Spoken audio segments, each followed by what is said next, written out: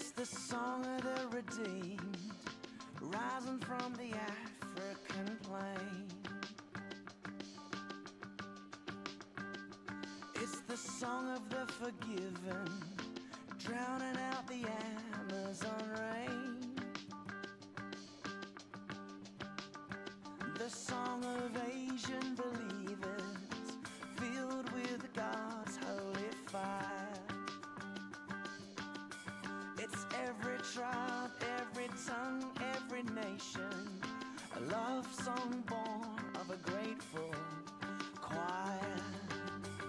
It's all God's children singing glory, glory,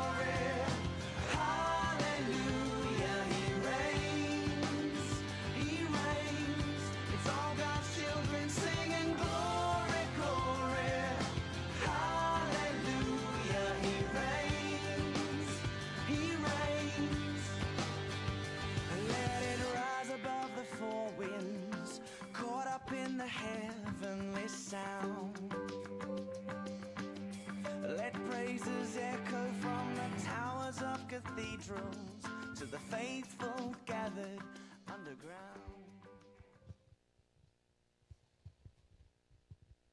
Good morning, church. Amen. I was glad when they said unto me, Let us go unto the house of the Lord. Are you glad to be in the house of the Lord this morning? Amen. I'm just going to read from Psalms 100. It says, Make a joyful noise to the Lord, all the earth. Serve the Lord with gladness. Come into his presence with singing. Know that the Lord, he is God. It is he who made us, and we are his. We are his people and the sheep of his pasture. Enter his gates with thanksgiving and into his courts with praise. Give thanks to him and bless his name. For the Lord is good. His steadfast love endures forever, and his faithfulness to all generations. Amen. Amen. Father God, we just come before you as your children, Father God. We are bought by your blood. We are the redeemed of the Lord. We are saints, Lord. And Father God, I thank you that you inhabit the praise of your people. And we're here this morning to exalt your holy and matchless name. You say, if you be lifted up, you'll draw all men unto you, Father God. So we're here with gratitude, Father God. After we just celebrated resurrection, Father God, we're here, we live, we, we have life, we have hope because you live. And because you live, Father God, we can face tomorrow. So, Father God, we thank you for this morning. We thank you for another day. We thank you for your mercies that are renewed, Father God. And as we come gather here, Holy Spirit, come. Lord, we can't do it without you. We need your presence to breathe upon us this morning. Rest upon us, Holy Spirit, and come and take complete control, we pray. In Jesus' name, amen. Can we all rise as we worship our King of Kings and Lord of Lords?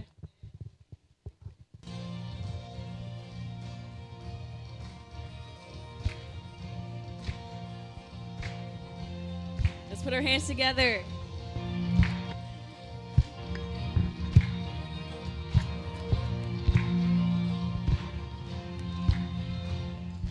These are the days of Elijah, declaring the word of the Lord. And these are the days of your servant Moses, righteousness being restored.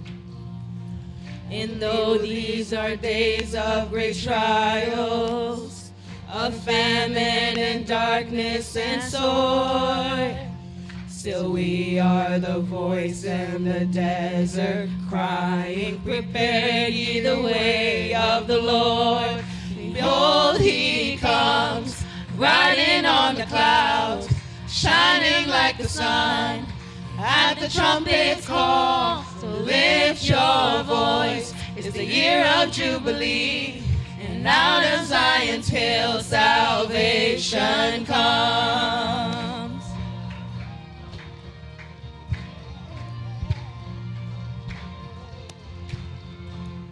And these are the days of Ezekiel, the dry bones becoming as flesh. And these are the days of your servant David rebuilding a temple of praise. And these are the days of the harvest. The fields are as white in the dawn. And we are the laborers in your vineyard, declaring the word of the Lord. Behold, he comes, riding on the clouds, shining like the sun. At the trumpet's call, so lift your voice. It's the year of Jubilee, and out of Zion's hill salvation comes.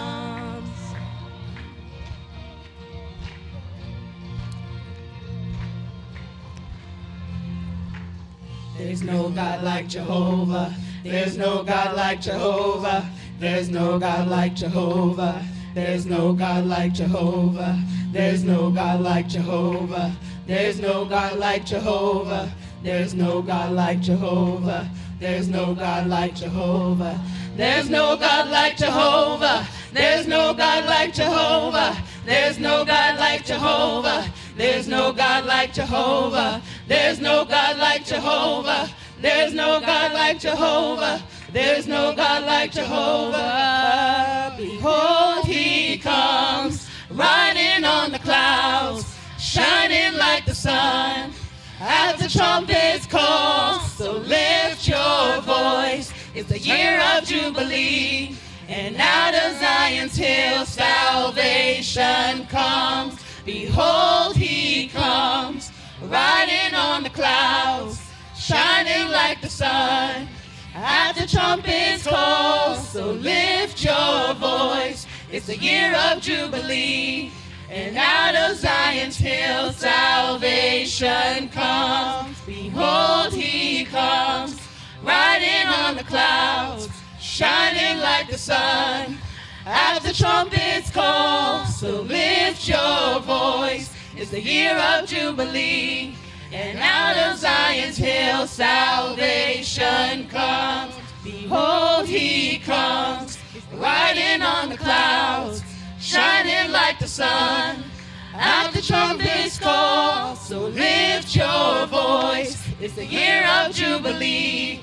And out of Zion's hill salvation comes. So lift your voice. It's the year of Jubilee. And out of Zion's hill salvation comes.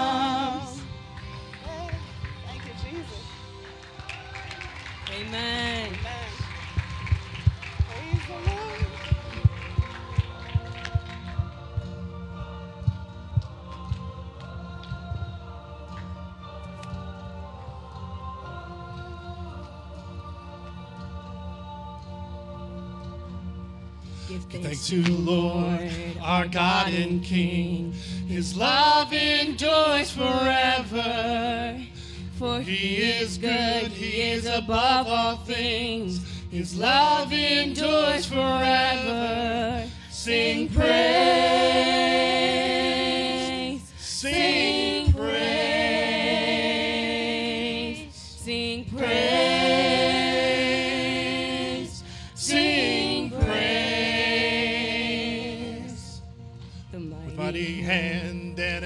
outstretched arm.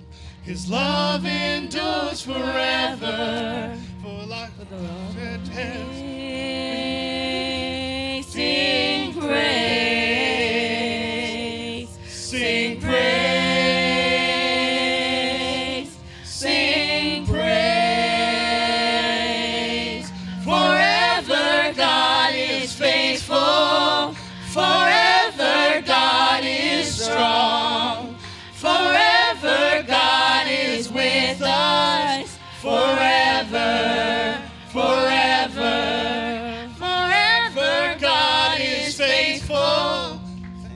From the love rising endures forever. By the grace of God, we will carry on. His love endures forever.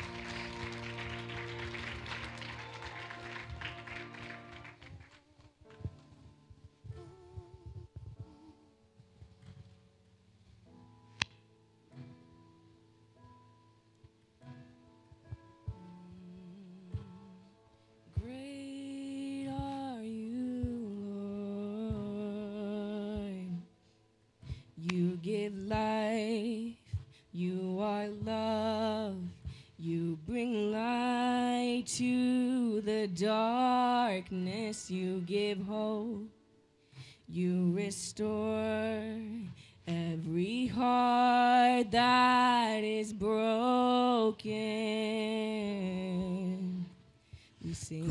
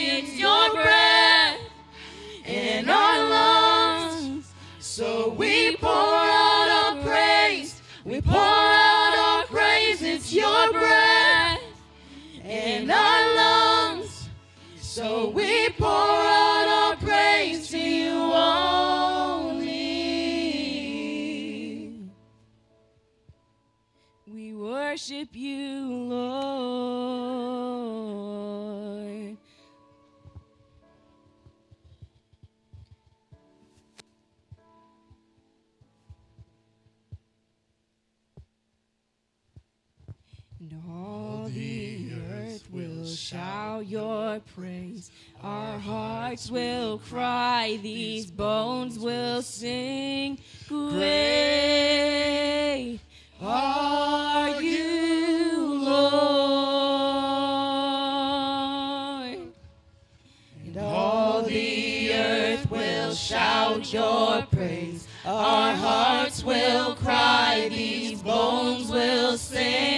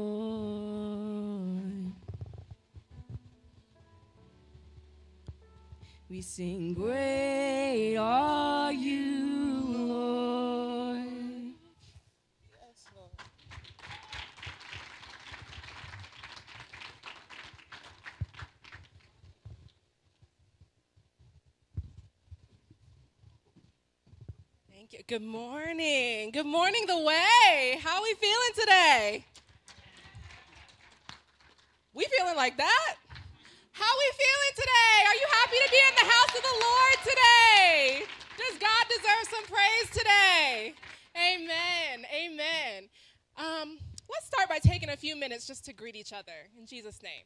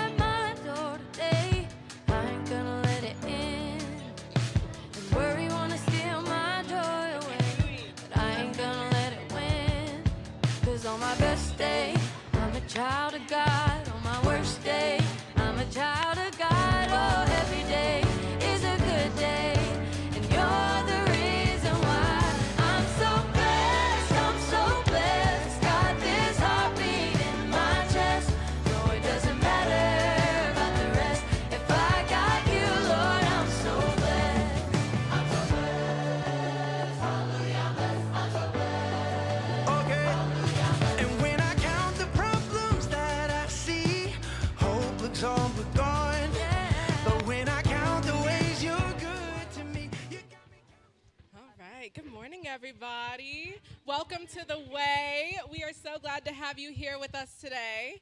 I want to start by saying thank you so much to everybody who pitched in last Sunday for our Resurrection Sunday celebration. We had the best time. Did you guys have a good time? I know I did. I know my daughter did. Thank you so much to everyone who served. Thank you for the food everyone brought. We are just so grateful. We had such an amazing time in the Lord. We want to tell you a little bit about ourselves before we start. Is that okay? We are a gospel centered, expository preaching, multicultural, multi generational body of Christ here at The Way. We believe that the Bible, the Word of God, is the end all be all. Nothing more, nothing less. Amen? We believe in transforming our community by the power of the gospel. The same power that Jesus held, that rose Jesus from the dead, that's the same power that we hold today. Amen. Amen. Can we give a hand clap to all of our first time guests today?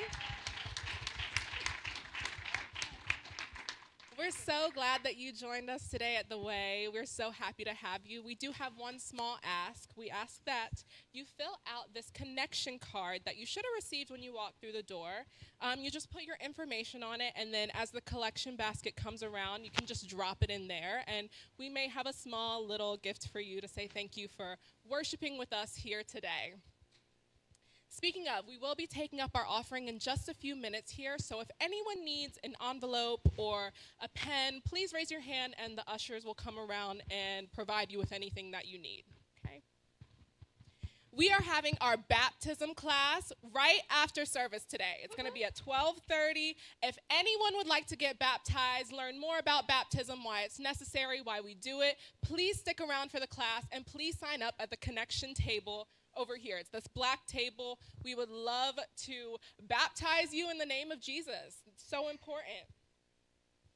So, if you're someone that has been coming here for a while, you've attended a few services, you like how we do things, you like the people, your next step is to attend a care group. Our care groups take place during the week. We have multiple, multiple care groups. They're basically where we dive into the word even deeper and we get to ask questions, we get to get answers and connect with the body at the way. We have several. This week we have our Wednesday night care group, we have our young adult care group. This is a change. It usually happens on Thursdays. It's going to start on Fridays now. Fridays at 7:30. And then we also have our men's group this week. That's going to be on Tuesday at 7:30 p.m. If you want any more information on anything that I just said, again, please stop by the connection table after the service. We would love to give you more info on that. After the service, we're also going to have some time with our ministry team. You can come up, you can receive prayer if you'd like to learn more about the church, if you'd like to be prayed for, whatever you need, please come up. We'll have our team here and you can just get prayer um, if you need it. Amen? All right, y'all. It's time to give. Can we have our ushers come up? And can we have a hand clap for giving? It is an honor to give unto the house of the Lord, to the kingdom of God. What a privilege it is. It's so, so, so important to honor the Lord with every single part of you, including your wealth, including your finances. Amen? We're going to say a quick prayer over our offering and then I'm going to get off of here. All right? Heavenly Father, we thank you so much for allowing us to come together today to worship you, our one true God. We thank you so much that you are worthy of the worship that we give unto you. We thank you so much for keeping keeping good care of us. We thank you that you provide for us and we thank you that we are able to give back a small portion of all that you have given unto us. For those that are not able to give back today, God, we pray that you show show us who you are, Jehovah Jireh, that you will provide in a way that only you can. We pray that you bless this offering. We pray that you multiply it, and we pray that it be used for your kingdom and for your glory in this church and in this community. In Jesus' mighty, powerful name we pray. Amen.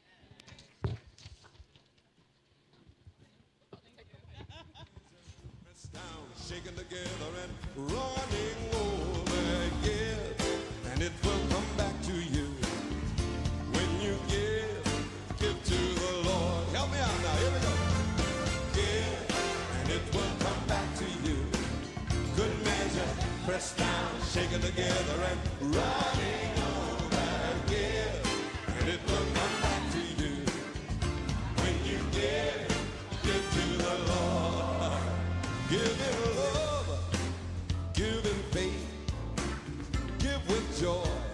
and a smile on your face. Give as the Lord has given to you.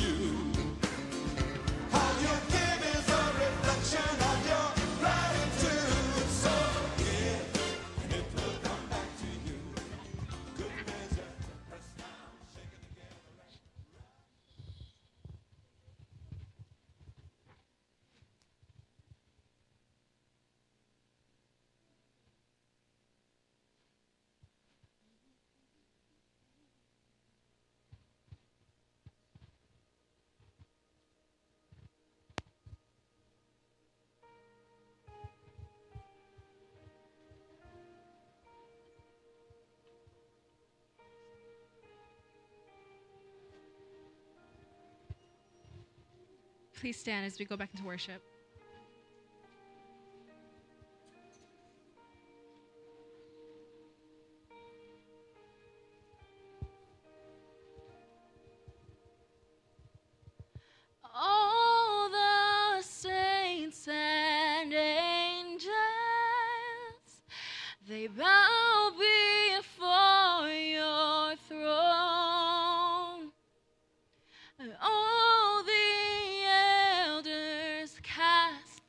their crowns before the Lamb of God and sing, You're worthy of it all. You're worthy of it all.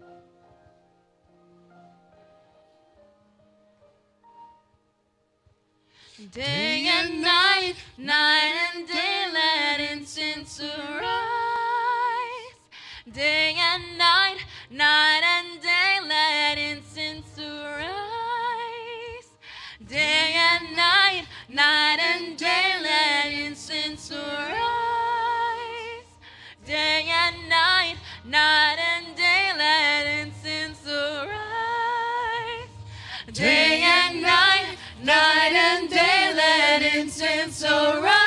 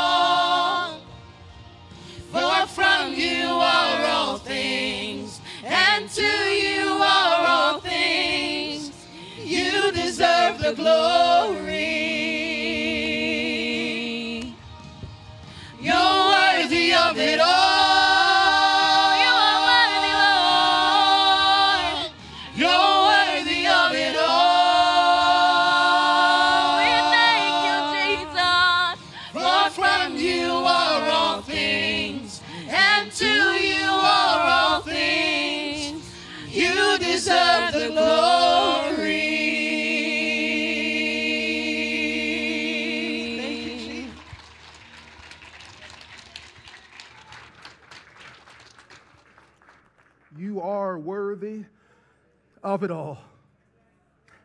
You're worthy of it all. For, for him, to all him, be all things. Through him, be all things. You deserve the glory.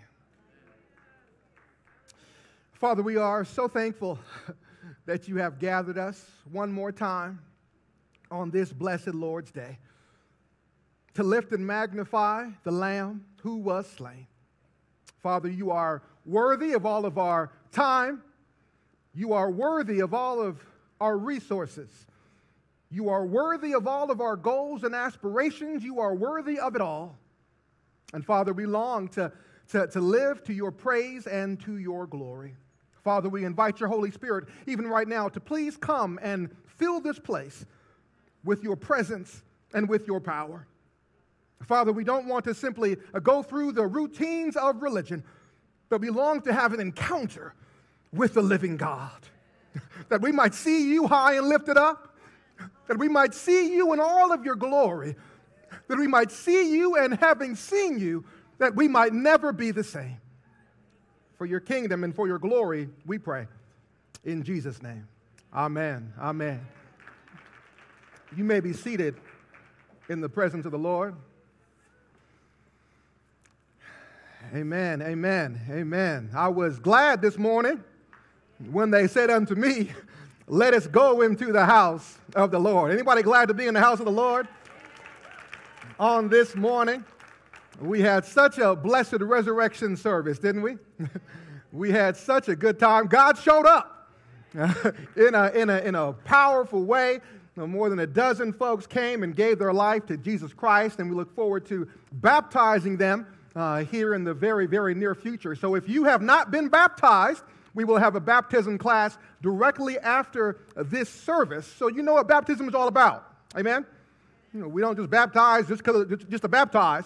We want to make sure you know uh, what you're getting yourself into uh, in the baptism of Jesus Christ. Amen? We will be returning now to our blessed series we've entitled Save Without a Doubt. We've been working our way verse by verse through the book of First John. Uh, before I continue, though, I would like to first give my heartfelt condolences to the Gordon family with the passing of their uh, beloved mother. That is the, the first official passing we have had here at the Way. Uh, we will be conducting the homegoing services this coming Tuesday uh, here in Gaithersburg. So please remember to keep the Gordon family uh, in your prayers. Amen. It's always good to acknowledge the, the, the, passing of those around us, isn't it? It's a reminder that, that this world is not our home. We are simply passing through this life as pilgrims. The Bible says, What is your life? It's even as a vapor that is here today and tomorrow it is gone.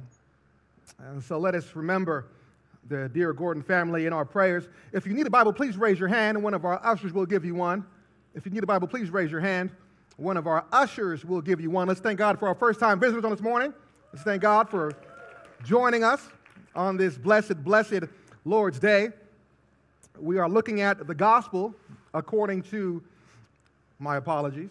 Uh, 1 John, 1 John, 1 John chapter 2. 1 John, the second chapter. Uh, we are an expository preaching church. You say, what's that, preacher? Uh, that means we simply take the Bible and work our way verse by verse through the text, expounding the text and then applying the text uh, to our lives. We have not gathered to hear the opinions of a man, but to hear the authoritative words of the living God. Amen? Uh, the book of First John, if you'll please turn with me. The book of First John, we have arrived here at the second chapter. 1 John chapter 2, looking at verse 15. If you're able, please stand in reverence for the Word of God. If you are able, please stand in reverence for the Word of God. 1 John chapter 2, and we shall begin at the 15th verse. And if you have that, say amen. Amen. amen. There, the scripture reads Do not love the world or the things in the world. If anyone loves the world, the love of the Father is not in him. For all that is in the world, the lust of the flesh, and the lust of the eyes, and the pride of life, is not from the Father, but is from the world. And the world is passing away along with its desires. But whoever does the will of God abides forever. Amen? You may be seated in the presence of the Lord. The grass withers and the flowers fade, but the word of our God abides forever. Amen. Before we begin, if you would join me, please join me one last brief time in prayer. Let us pray. Eternal God and Father, we come again most humbly before your holy and most sacred scriptures. And Father, we ask that you would please, Holy Spirit, you would please now come and be our teacher. Father, we are in need of your spirit, of your illumination, of your power. So, Father, that you would please uh, guide us now deep into the treasure store of your word.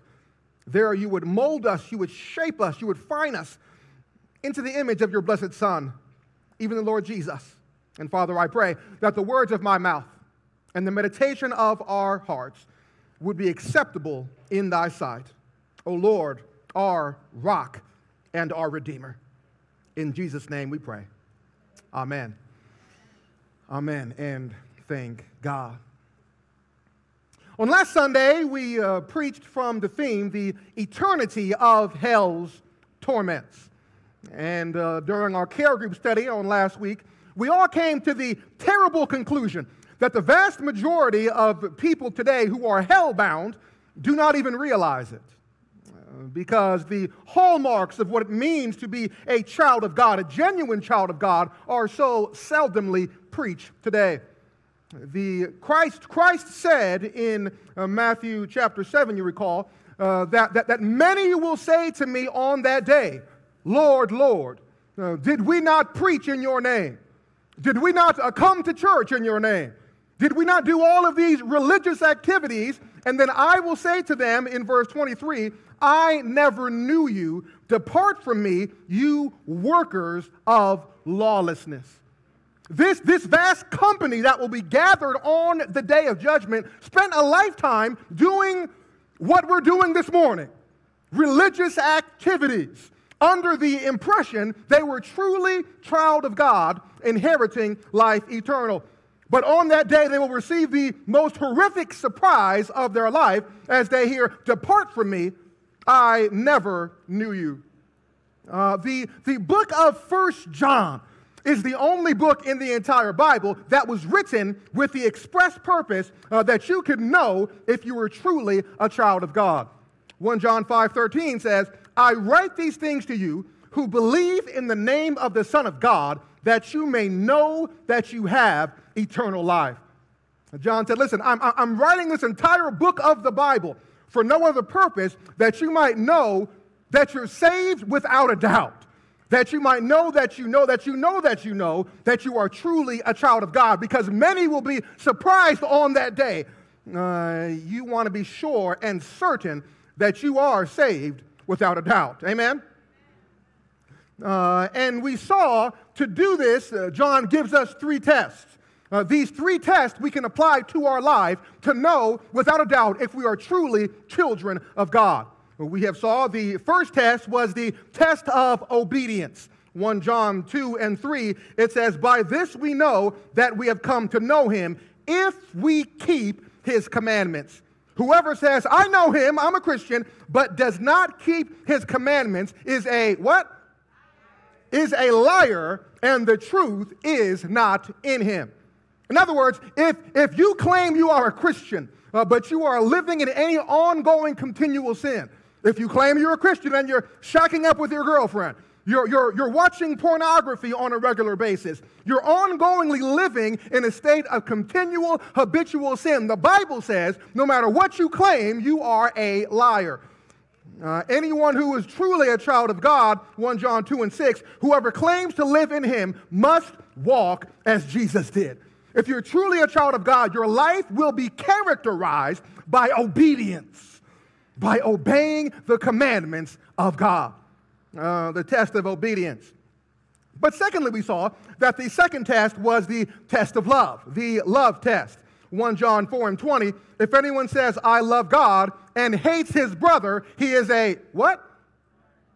He is a liar. He is a liar. For he who does not love his brother whom he has seen cannot love God whom he has not seen. And this commandment we have from him whoever loves God must also love his brother.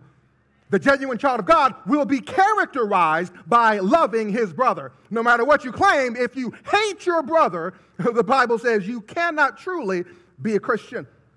Say, Pastor, but you don't know what he did to me. You don't know what he put me through. If you knew, you would understand why I feel this way, my friend. You're right, but God does know. And the Word of God still remains the same. If you claim you love God and hate your brother, you are a liar. Uh, the, the, the Christian uh, is not simply characterized by uh, loving those who are lovable. Everybody does that. Everybody loves those who are loving to them. The Christian is known for loving those who are unlovable, loving the least of these, loving your enemies. This kind of supernatural love uh, is the identifying mark of the true child of God. By this will all men know if you are my disciples, by the love you have one for another. Uh, he gave us the test of obedience, the test of love, and we saw last time that the apostle he, he, he took a brief hiatus uh, from this series of tests to show us the secret of spiritual growth. Uh, you recall that the, the, the secret of growing spiritually uh, from an infant to a young man, from a young man to an adult, uh, to a father or a mother in the faith, is abiding in the Word of God. And not simply hearing sermons and forgetting them but like the cow that is uh, chewing the cud and then swallowing it, regurgitating, chewing it some more, swallowing, and then regurgitating, chew it some more. So the child of God will continually be chewing on the Word of God. So much so that God's Word will transform how we think, our decisions, our, our, our, our, our goals and ambitions will all be shaped and transformed by the Word of God. The key to spiritual growth, John says, is abiding in God's word. Having given us the key to spiritual growth, he then gives us in today's text the greatest hindrance to growing in the Lord. Uh, that greatest hindrance we see in our text today is worldliness, having a love for the world. John said, This is how you grow. This is how you do not grow. Do not love the world or the things in the world. If anyone loves the world, the love of the Father is not in him. There's perhaps no more urgent message that the church needs to hear today, is there? In the entire history of the Christian church, there perhaps has been no time when we had more worldly Christians than we have today. The problem, the problem that a worldly Christian uh, is a contradiction of terms. A worldly Christian, biblically speaking, would be an unbeliever. That's why he says, if anyone loves the world, the love of the Father is not in him. You cannot love the world and love God at the same time. A love for the world will thrust out any true love of the Father. And a love for the Father will thrust out any love for the world. No, you cannot hold on to this love of the world and God at the same time. So, in our text today, the apostle, he gives us uh, the key uh, to identifying and uprooting this, this cancer of worldliness in our lives, that we might live a life exclusively to the praise and glory of Almighty God. Amen? So, firstly, let us consider uh, the world's character. The world's character. Verse 15, the apostle, he says, Do not love the world or the things in the world. If anyone loves the world, the love of the Father is not in him. Now, our first order of business is to determine what is the meaning of this word, world. What is the apostle saying uh, when he speaks of world?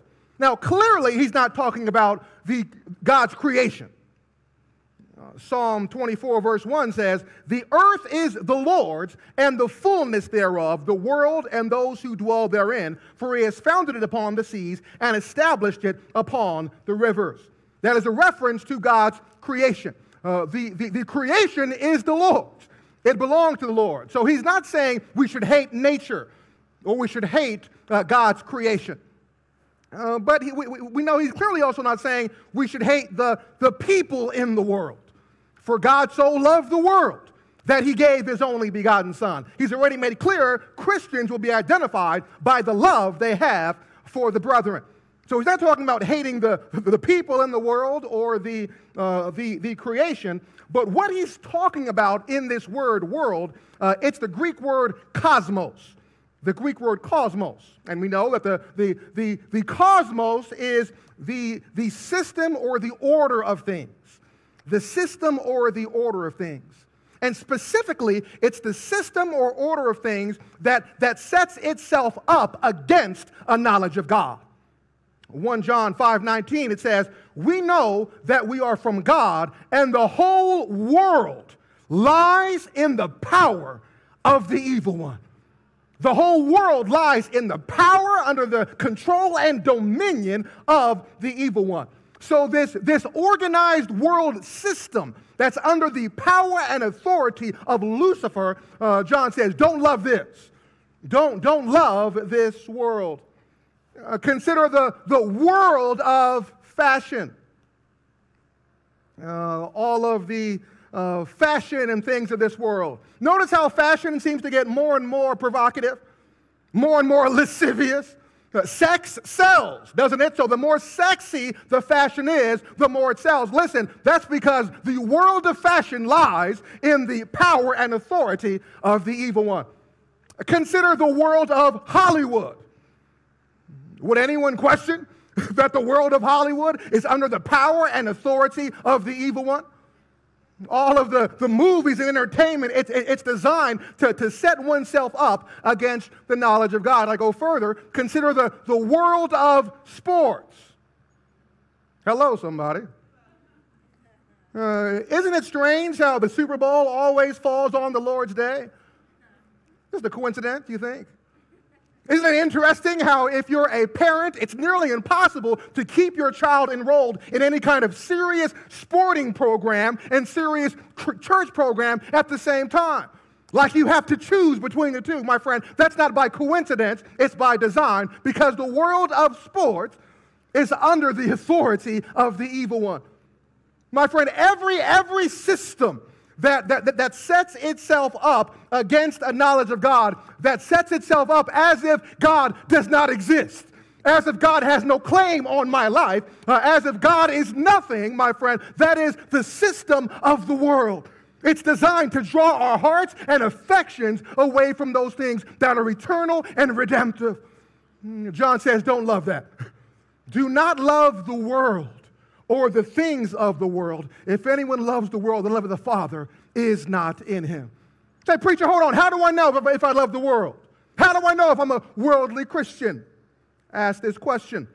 This, this, this world love here, agape here in this text, it signifies two things. It signifies one, a desire for something, and secondly, a commitment to something a desire for something and a commitment to something. If you love football, that's where you'll spend most of your time and your resources. You hear me? If you love hunting or fishing, that's where you'll spend most of your time and your resources. If you love your children and spouse, that's where you will spend most of your time and your resources. Ask yourself the question where do you spend most of your time and your resources? If we look at your uh, bank balance, what is it that you spend the majority of your time and resources with? What has the, the core of your allegiance? What is it? Uh, the primary dedication of your life. Christ said, no, in, in Matthew 6 24, no one can serve two masters, for either he will hate the one and love the other, or he'll be devoted to the one and despise the other. You cannot serve God and money. He said, What has your primary allegiance? You you cannot love, you cannot serve both God and money. Uh, John Calvin, that old uh, preacher, he wrote, Listen, there is no medium between these two things. The world must either be worthless in your estimation or keep us enslaved by an extreme love for it. Therefore, if we would have any regard for eternity, we must carefully strive to free ourselves of these chains. Uh, perhaps James said it most palpably in James 4 4. He says, You adulterous people, do you not know that friendship with the world is enmity with God? Therefore, whoever wishes to be a friend of the world makes himself an enemy of God. Isn't that clear, friends? You cannot be a friend of the world and a friend of God at the same time. D.L. Moody, uh, that, that great preacher of yesteryear, he, he shook North America with his fiery preaching of the gospel. Uh, one man came to D.L. Moody one day. He asked him, Dear Mr. Moody, now that I have been converted, do I have to give up the world? Uh, Moody said, No, sir, no, sir, you don't have to give up the world. If you give a good, ringing testimony for the Son of God, the world will give you up pretty quickly. They won't want you. the world will give you up pretty quickly. It won't want you. I like that, don't you? Uh, the, the most printed book outside of the Bible is the great Pilgrim's Progress by John Bunyan. Have you read it? Pilgrim's Progress? I, I, I commend it to you. It's a, it's a, it's a beautiful allegory of, of Christian who is uh, fleeing the city of destruction and he's, he's walking on the narrow road to the celestial city. And, and, and as he's walking on this road, he has to fight and overcome all of the obstacles of the Christian life. Just, just after he, he defeats uh, Satan in the battle in, in the valley of humiliation, uh, after he makes his way through the, the valley of the shadow of death, he comes to his most uh, dangerous battle thus far. He enters into Vanity Fair. Uh, Vanity Fair is a place, the Bunyan says, that most Christians never make it out of. They get stuck in Vanity Fair, they never make it out to the uh, celestial city as, as, as, as Christian enters into the Vanity Fair, they have everything there for sale houses, lands, positions, lusts, wives, husbands, silver, gold, and pearls. They have everything the world has to offer. And as, as, as Christian walks into the fair, all of the shopkeepers are saying, What would you buy? What would you buy? What would you buy? We got everything the world has to offer. What would you buy here at the fair? Christian says, we would buy the truth. And we can't find it here. So they keep walking. and, the, and, the, and the shopkeepers, they were so furious that all the things they held dear, Christian did not care for at all. They arrested Faithful, had him executed. Christian barely made it out of there alive because the world cannot bear when Christians uh, think lightly of all the things they hold so dearly. oh, my friends, I wonder uh, are you stuck in Vanity Fair? Are you enamored with the things of this world? The houses, the cars, the lands, the things of this world? Or are you fixed on glory? Do you have your heart fixed on things above? Do all the things that the world holds so dearly, they work their whole life for, you view as as nothing, as lighter than air. You see, the world will hate you when you have that perception. I wonder, does the world hate you? The Bible says, do not be surprised if the world hates you, but take heart because I have overcome the world. the, the, the world will hate you when all the things they love so dearly you look at as lighter than air. I wonder, does the world hate you? Because you have a completely different set of priorities. The things you live for and the things they live for are the exact opposite. That's one of the identifying marks of the children of God. And the world will hate you for it. My friends, do your old friends and buddies, they can't stand you. Your friends are used to run the streets with and have a good time with, all of a sudden, they want nothing more to do with you because you have a different priority, because your heart is fixed on things above. Firstly, firstly, the character of the world. Saints, can I tell you to lift up your eyes? Set your affections on things above. you, you, you were not created to, to, to roll in the mud of Vanity Fair. God has created you for a higher purpose, for, for incomparably higher value. to seek those things that are above, where Christ is seated at the right hand of God. Firstly, the world's character, the world's character. But secondly, let us look at the world's devices. The world's devices. Look at verse 16. It says, For all that is in the world, how much of it? For all that is in the world, the lust of the flesh, the lust of the eyes, and the pride of life is not from the Father, but is from the world. Theologians, they call this the unholy trinity the lust of the flesh, the lust of the eyes, and the boasting of what man has and does. It, it, it is derived not from the Father, but from the world. The lust of the flesh. That, that word lust, it's the Greek verb epithumia. It literally means a, a carnal longing for, a desire after, to lust, to have a passionate longing for, the lust of the flesh. It's a picture of someone who's living simply to satisfy their carnal nature, to satisfy their flesh, uh, to satisfy the things of this world, the one who lives to, to flaunt and exploit and satiate the desires of their carnal nature. Can I bring this home to you on this morning? Let me, let me, let me, let me bring this part home real close to you. In fact, let me talk to the young ladies here for a minute. Then I'm going to talk to the young men here. Just, just stand by. Y'all going to pray with me, aren't you? The lust of the flesh. Young ladies, your wardrobe should never be characterized by a lust of the flesh. It should never be designed to exploit and showcase your body. Hello, somebody. your, your, your clothing should never draw attention uh, to the flesh. Y'all don't, to your behind, to your chest.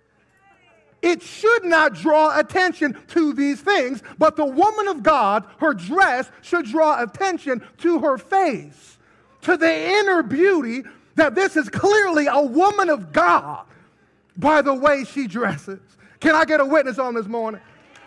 Her dress should draw attention to the inner beauty, the spiritual beauty of this woman of God. It's an exude. She must be a praying sister. It will exude, uh, she must be wifey material. it will exude, uh, she is clearly a proprietress young lady. Amen. 1 Timothy 2 and 9, mark this. 1 Timothy 2 and 9. I also want women to dress modestly. You see that?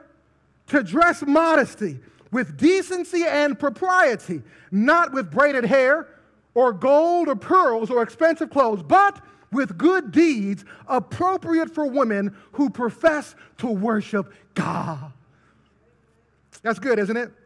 Women are to dress modesty, modestly with decency and propriety, not with expensive clothing. I like the translation says, not with expensive Gucci and Prada.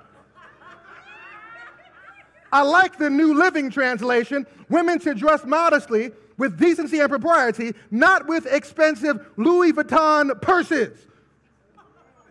Hello, somebody. Hello, somebody. Not with expensive Louis Vuitton purses. Uh, that should not characterize the women of God. I'm not pointing any fingers here today. I'm not pointing any fingers. but it should not characterize the children of God. Amen?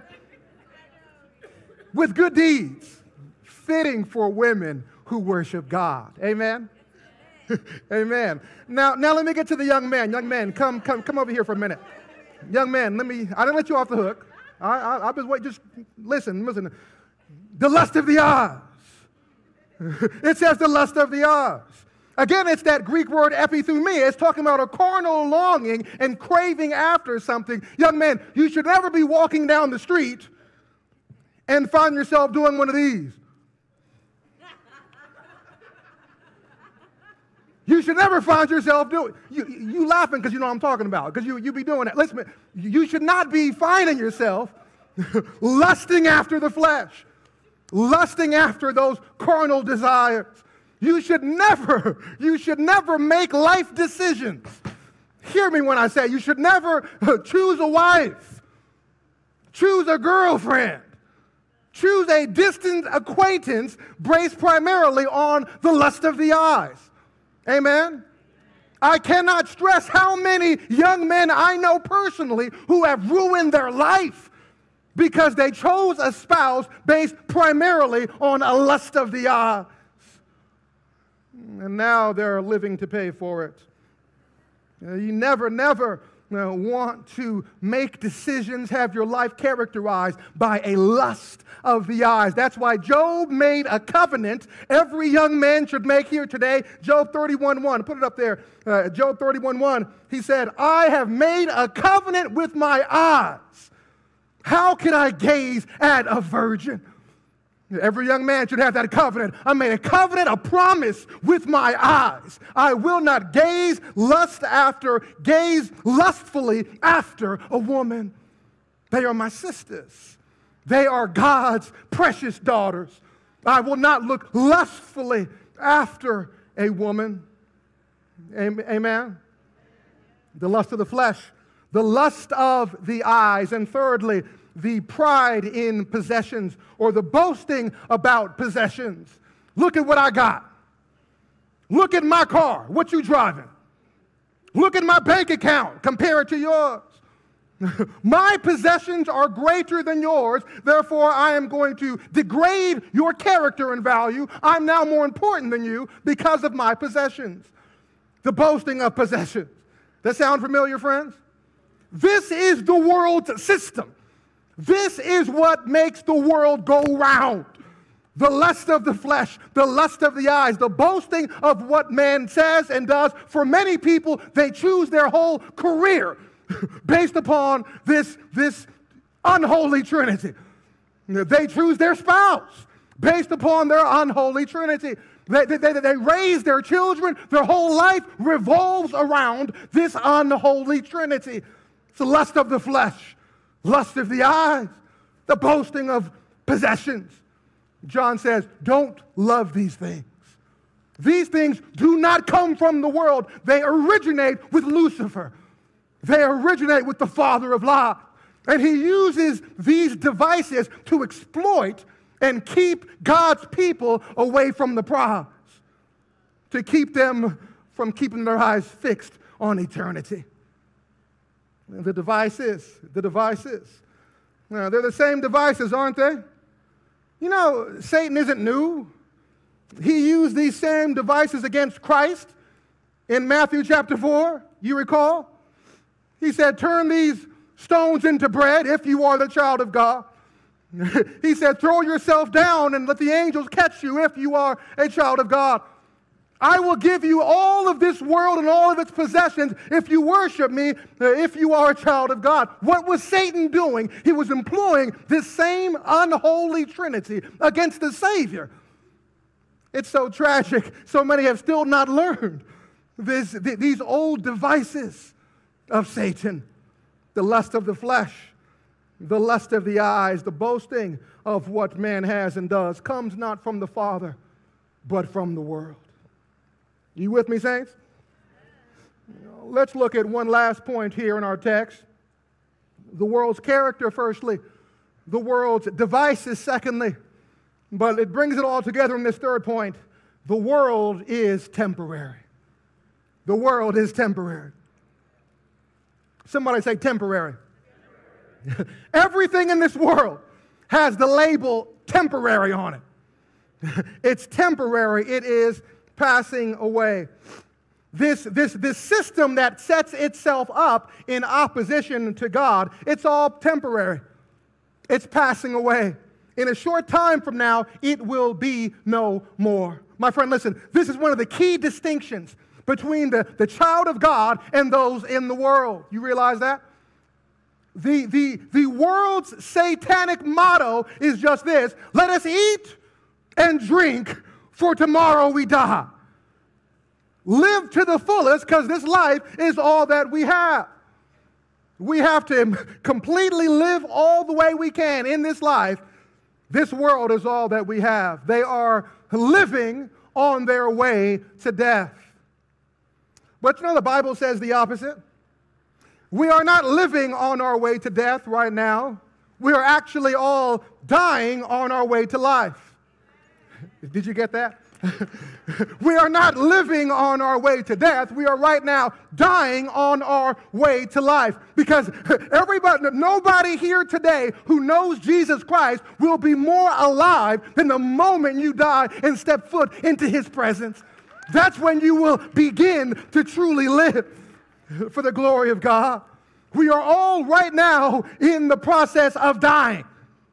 Our bodies right now are in a state of breaking down, slowly shutting down each and every day. Friend, listen, no matter how much Botox you inject into your chin, no matter how many times you go to that doctor to have them uh, pull your skin back so you can look young again. No matter how uh, vegan, vegetarian, organic, and psychopathic is your diet. My friend, listen, no matter what you do, you are right now quickly hastening to your final resting place. You are right now, in a few days from now, no matter what you do, we'll be standing over your casket in a short time from now. As I'll be standing over my casket of, this, of my dear sister on Tuesday.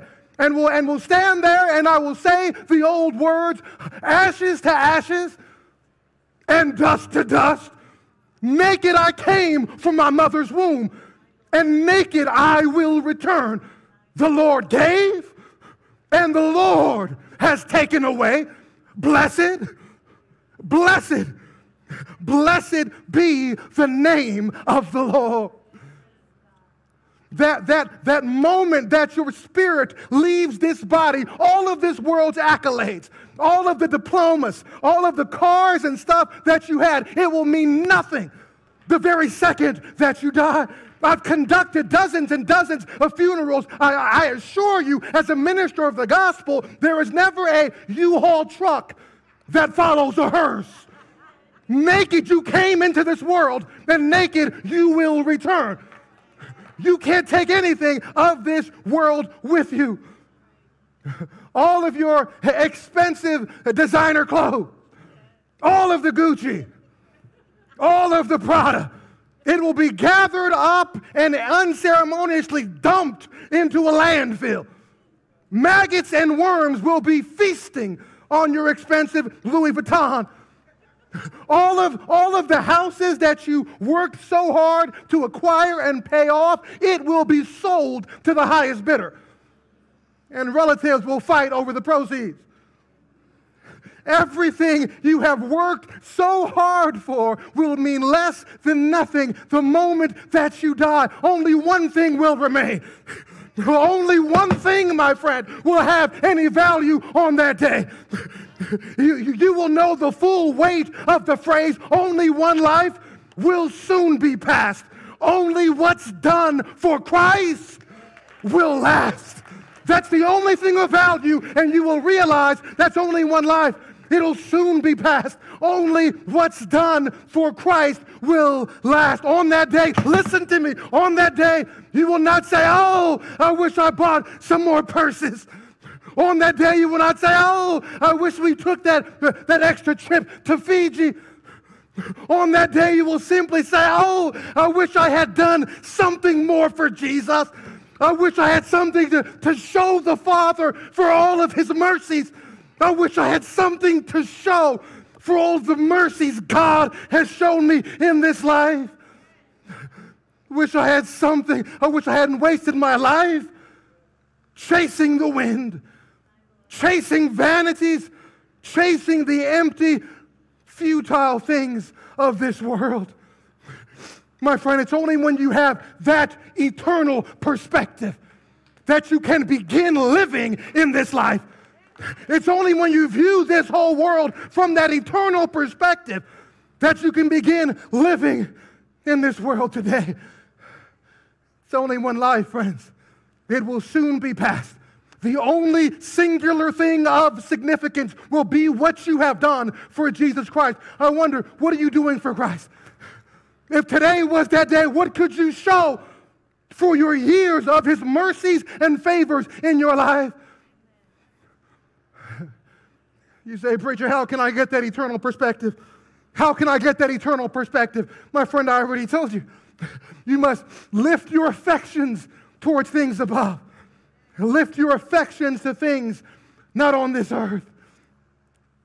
Colossians chapter 3, I think I forgot to give it to you.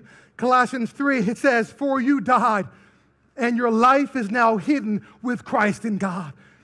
Set your affections on things above, not on things on the earth. For you died, and your life is now hidden with Christ in God. Set your hope and affections on glory. Set your hopes and affection on things to come. This whole world is but an empty shadow. It's a, it's a passing vapor. The, the, the, the, curtain will soon fall and the, and the real life will soon begin. Set your eyes and hopes fully on the grace to be revealed. 1 Peter 1.13, set your hope fully on the grace that will be brought to you at the revelation of Jesus Christ. Set your hope, set your ambitions, your goals fully on the grace to be revealed when Jesus Christ returns. What else, preacher? What else? Well, Romans 12 and 2. It says, Do not be conformed to the pattern of this world, but be renewed by the renewal, but be transformed by the renewing of your mind. The world wants to, he's saying, the world wants to squeeze you into their mold. So you think like them. You have ambitions like them.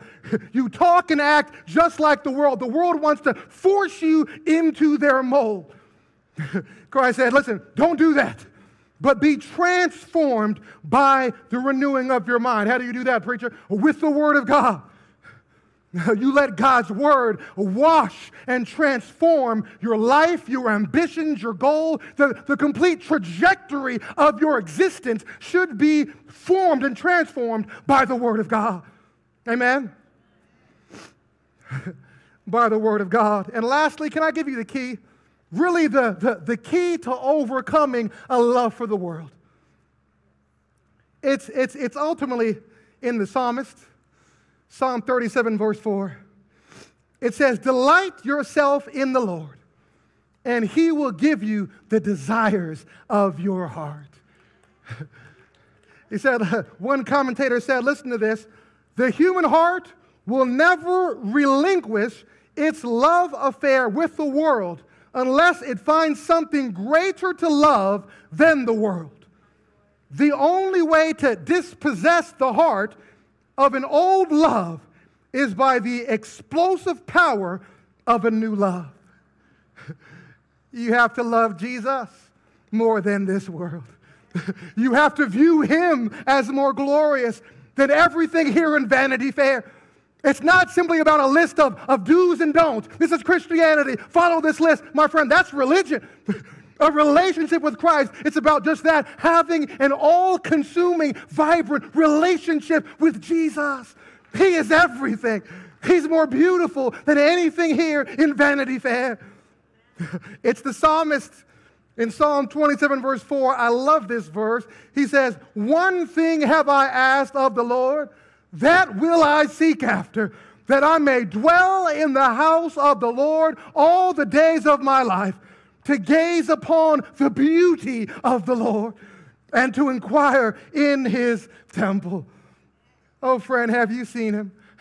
Is this your one singular goal in life to dwell in the house of the Lord all the days of your life, to gaze at his beauty? Is he that pearl of great price? You would sell everything. Just better is one day in his courts. Better is one day in his house. Better is one day in his courts than a thousand elsewhere. Have you seen him, friend? Have you seen him in his beauty?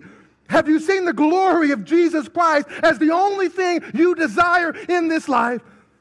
Paul said one thing I have one ambition, one thing, forgetting what is behind and straining towards what is ahead. I press on toward the prize to win the goal for which I have been called heavenward in Christ Jesus.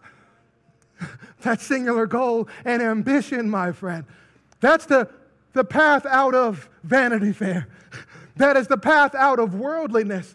It's the path to the joy of the Lord that is our strength. Amen. Heavenly Father, we are so thankful, oh God, that we have something in Jesus better than silver and gold, better than anything this world has to offer. Silver and gold, silver and gold. I'd rather have Jesus than silver and gold. No fame or fortune, nor riches untold. I'd rather have Jesus than silver and gold. Oh God, make us a heavenly people.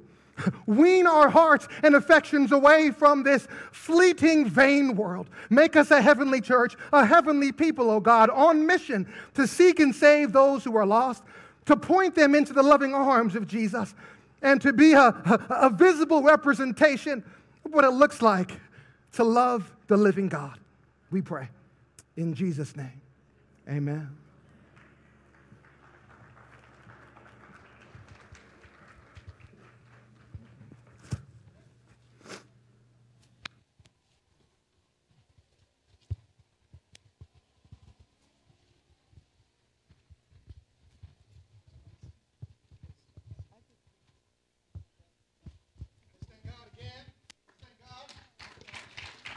For his goodness and his mercy. I got carried away, I forgot. Forgive me. Today is First Sunday, so we always stop to commemorate the death, burial, and resurrection of Jesus Christ in Holy Communion. The instructions for Holy Communion are given in 1 Corinthians chapter 11. There, the Apostle Paul wrote in verse 23 For I received from the Lord what I also delivered to you that the Lord Jesus, on the night when he was betrayed, took bread, and when he had given thanks, he broke it and said, This is my body, which is for you. Do this in remembrance of me. In the same way, also, he took the cup after supper, saying, This cup is the new covenant in my blood. Do this as often as you drink it in remembrance of me. For as often as you eat this bread or drink this cup, you proclaim the Lord's death until he returns. Holy Communion is one of two ordinances as the ushers come forward and pass out the sacraments. Uh, he's given us baptism and this Lord's Supper. The Bible says that each one should examine himself before partaking of the bread and partaking of the wine, lest in doing so in an unfit manner, we might drink condemnation upon ourselves. Let each one examine their hearts and even right now, if we could silently uh, confess any sins we might have silently before God and prepare our hearts to partake of Holy Communion.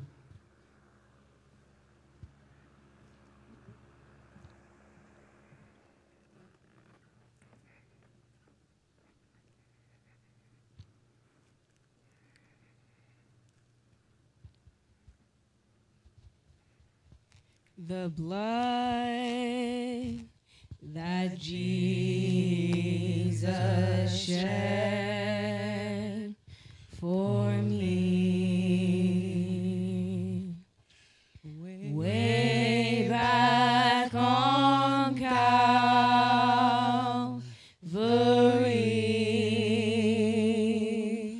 the blood that gives me strength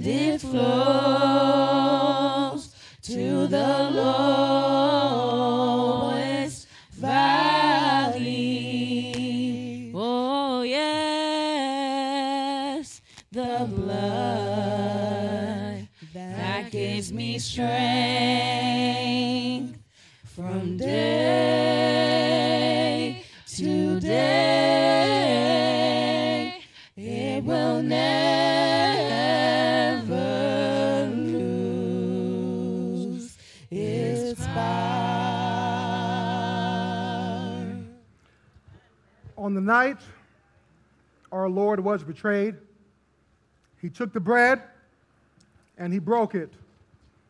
This is my body that has been broken for you. As often as you do this, you do this in remembrance of me. Let's partake. In the same manner, he took the cup. He said, This cup is the new covenant in my blood.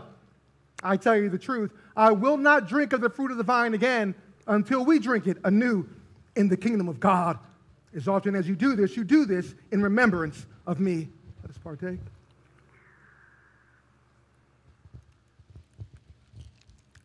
Mm. Amen. Amen. If we could all please stand for the benediction. We could all please stand for the benediction. We do have some uh, refreshments laid out for everyone. Love if you could hang out, break bread with us. We'd love to get to know you more. Amen. Let us close out in prayer. Heavenly Father, we are so thankful for the blood, the blood, the precious blood of Jesus. We thank you, O God, for the great price that was paid for us on Calvary. And getting up with all power in your hand to newness of life, now we can live fully to your praise and your glory. We ask your blessing, O God, upon these, your people, that you would be with them, that you would keep them, Father, that you would draw us all closer in love with Jesus Christ. Oh, Father, help us to go forth from this place to be the salt and light wherever you have us, O God, to point someone to the Lord Jesus, we pray. And now, now unto him who is able to do exceedingly abundantly beyond all we can ask or imagine, according to the power that is at work within us. To him be glory in the church and in Christ Jesus throughout all generations, forever and ever. And all God's people said, Amen, amen, amen.